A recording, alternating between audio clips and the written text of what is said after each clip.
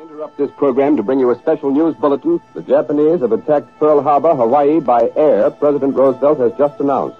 The attack also was made on all naval and military activities on the principal island of Oahu. The details are not available. They will be in a few minutes. The White House is now giving out a statement. It is nearing the end of 1941, and Japan has just bombed Pearl Harbor, prompting the United States to enter World War II and marking the start of the country's nearly four year involvement in the conflict. As millions of brave men and women traveled overseas as part of the armed forces, those on the home front also sought to assist in the war efforts. To do so, American citizens and industries were forced to make many sacrifices. This held true for the fashion industry, which changed significantly as a result of World War II. During this period of making do, citizens needed to ration materials and reduce consumption. Women could no longer wear long, elegant dresses with layers of thick fabrics, erasing the feminine identity and glamour of the fashion of the 1920s and 30s. These circumstances would fuel changes in women's fashion, creating clothing that represented American determination in the midst of uncertainty. As World War II forced Americans to ration materials and prioritize necessities, it served as a catalyst for change in the fashion industry.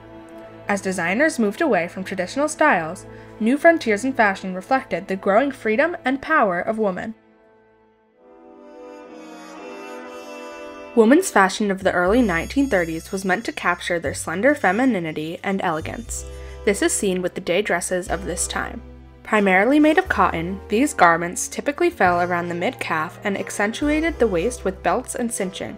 The appearance of exaggerated shoulders was created through padding within the dress. With the rise of Hollywood and the growing popularity of movie stars, actresses like Bette Davis and Joan Crawford emerged as fashion icons, guiding the styles of women around the nation. Silk, among other fine fabrics, was heavily used in long evening gowns. These gowns conveyed a sense of high society and class and took inspiration from the fashion industry in Paris, where at the time designer brands like Chanel were making headlines in Vogue.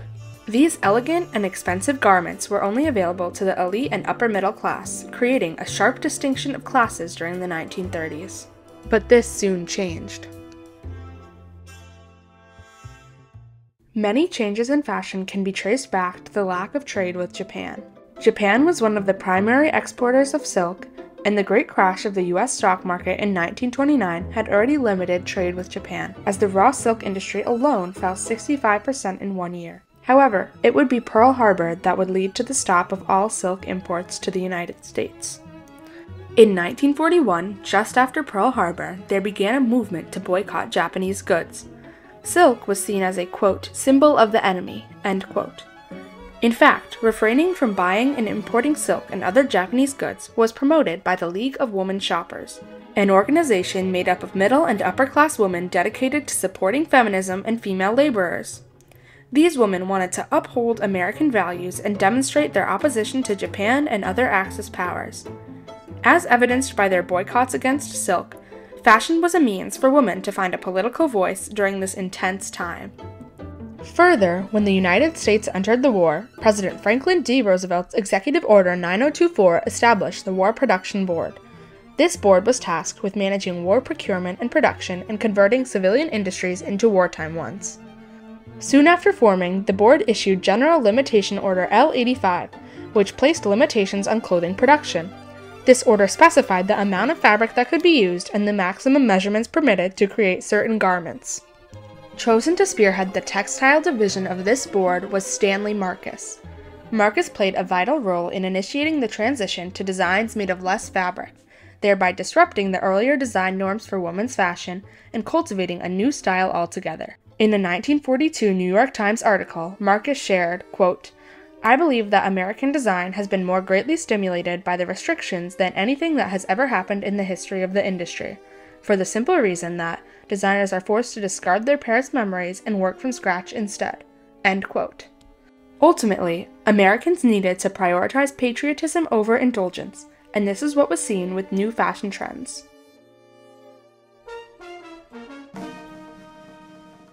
Due to the implications of the War Production Board, Manufacturers needed to be more selective with the types of fabric used and cuts of clothing made. Dresses were made of cheap and simple fabrics, commonly dark, khaki, and dull. Skirts became shorter just below the hemline, and pockets were stitched onto the exteriors of skirts and pants. Clothing soon became increasingly uniform, helping to reduce class disparities within American society, a stark contrast to the earlier 1930s, during which women's fashion was emblematic of their socioeconomic status. A new masculine and militarized style began to emerge. This utility clothing consisted of padded shoulders, a nipped in waist, and hemlines just below the knee. Women wore boxy suits with rounded collars, as well as utility dresses, including American fashion designer Claire McCardell's popover dress. This piece became widely worn due to its multi-purpose design and cheap, accessible price of $6.95. It could serve as a dressing gown, swimsuit cover-up, party dress, or work attire, reflective of women's growing freedom.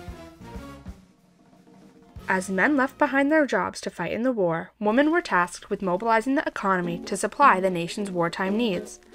As a result, 6 million American women took on jobs to replace the lost portion of the workforce, with almost 25% of married women working outside the home. Gender roles shifted as women took on the labor responsibilities previously held by men, in addition to their traditional household responsibilities. Many women served as radio operators, drove trucks, repaired planes, and worked as laboratory technicians.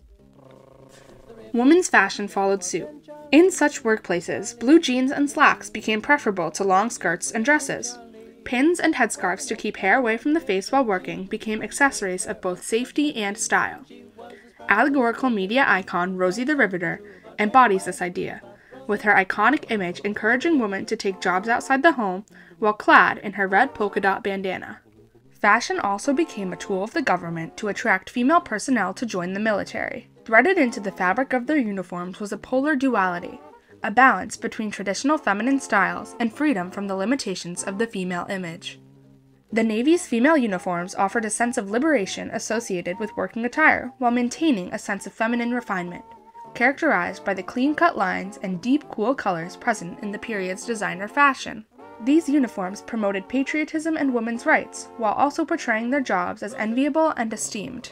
In the 1930s, silk stockings were very popular among American women, but this came to a halt when the United States stopped importing silk. In 1940, nylon stockings were first introduced, but this replacement would not last for long. Nylon was soon put to use in the war efforts to make parachutes, ropes, and netting. Women turned to makeup, iodine, shoe polish, and even gravy juice to give the impression of wearing stockings. Some department stores introduced leg makeup bars, where women could have nylons painted on by professional makeup artists. While these practices came to an end when the war concluded, they reflect women's sacrifice and creativity during the war. Another notable fashion design of this time was the two piece bathing suit. Women's swimwear had long emphasized modesty. When swimming became an intercollegiate and Olympic sport, more practical designs began to be introduced. Yet many women hesitated to wear these designs for fear of judgment or receiving a citation. However, during the war, the two piece bathing suit gained traction because it removed the midsection of women's bathing suits in order to save material. As such, women gained increasing freedom as to what they wore.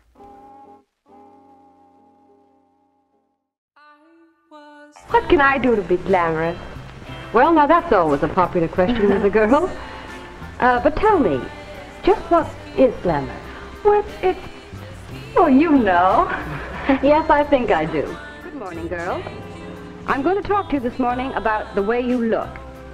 Now, I've heard it said that we women attach too much importance to our appearance. But that isn't true.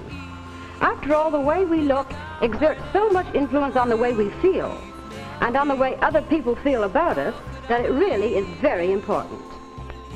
Fashion is ever changing, representative of different cultures and values, and often empowering. No longer bound by the constraints of conservative femininity, women enjoyed increased sartorial autonomy and played an instrumental role in World War II.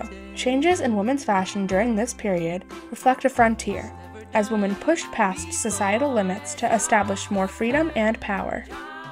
Today, women are standing on the shoulder pads of 1940s fashion, tracing the patterns and designs of modern female identity.